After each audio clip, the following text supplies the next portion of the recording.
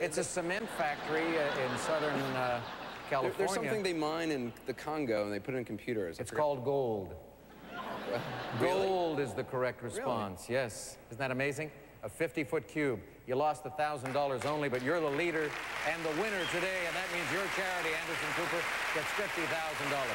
Thank you all for being with us today. And thank you too, ladies and gentlemen. We'll look for you again next time. So long.